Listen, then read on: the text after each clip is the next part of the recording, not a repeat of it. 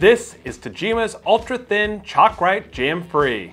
Tajima is renowned for manufacturing top of the line chalk boxes, offering an array of styles, each with its own set of uses and features. A favorite amongst this selection is the Chalkrite Jam Free, which boasts an ABS body, a 1mm bold line, and a more economical price point than other chalk boxes in the lineup. The highly visible line snapped by this box makes it ideal for framers, roofers, drywallers, or any professional in need of a clean, easy to see marking. But what about those looking for something a bit more precise?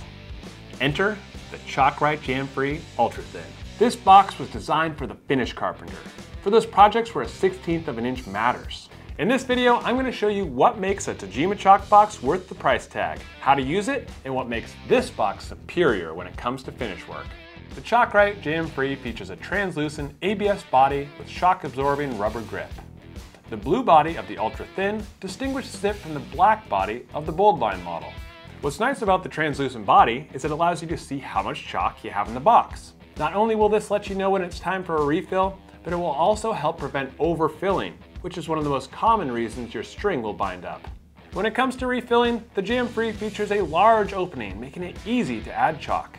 The cap is equipped with an O-ring to keep the chalk in and the water out, as well as a replaceable felt to brush off any excess chalk before you snap your mark.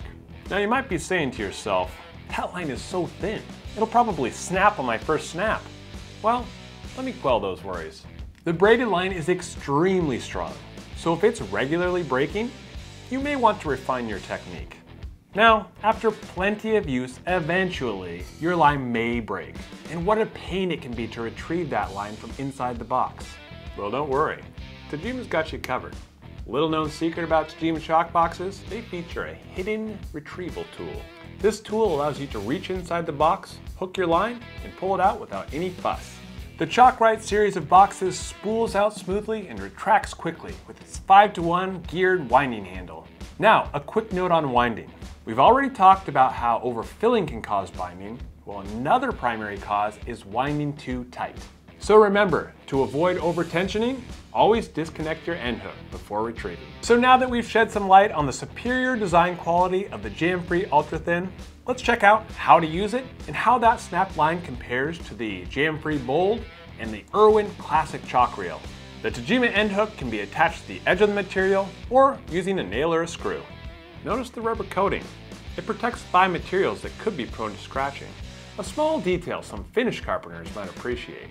The tension should be taut, but this isn't a tricep workout. Reach out two to three feet, pull up the line a few inches, and release.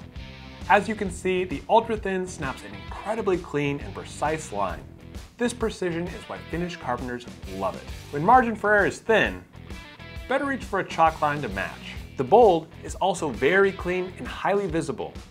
The old classic here does the job, but you be the judge. Tajima has developed quite a cult following. With their attention to detail and exceptional build quality, they make tools you not only need, but want to use. So what do you think? Is Tajima worth the premium price tag? Or is the Irwin box more your speed? You guys are the pros, so let us know what you think in the comments below.